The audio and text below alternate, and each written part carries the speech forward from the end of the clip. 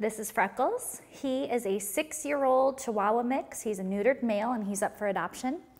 This is a very happy-go-lucky dog. He is full of character and joy and just loves to play and snuggle and give kisses. He is just a happy, happy boy.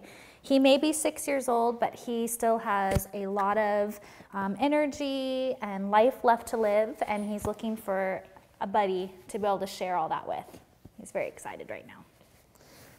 Freckles has a really interesting look to him. He sort of has the body type of a Chihuahua, but he has a really beautiful coat that is sort of this spotted white with black. Um, if you kind of part his fur, you can look down and see that there's black underneath. He's really a beautiful dog, and he's got kind of a cute, tiny little body.